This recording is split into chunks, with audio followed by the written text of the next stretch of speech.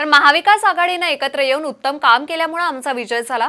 त्याचबरोबर राज्यात जातीय तेढ निर्माण करण्याचं काम काही लोक करतात त्यांना चपराक मिळाली आहे. असं म्हणत जयंत पाटील यांनी भाजपला टोला लगावलाय. दरम्यान कोल्हापूरच्या निवडणुकीमध्ये स्वतः उद्धव ठाकरेंनी लक्ष घातलं होतं.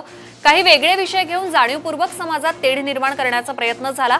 मात्र मतदारांनी त्यांना घरचा रस्ता दाखवला असं उपमुख्यमंत्री अजित पवार म्हणाले.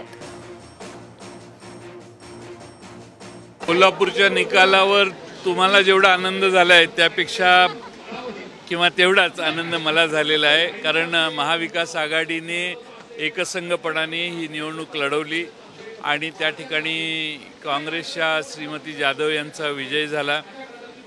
कोल्हापूर शहरातल्या नागरिकांनी दिलेला विजय हा पुरोगामित्वाकडे महाराष्ट्र कसा झुकलेला आहे याचं द्योतक आहे.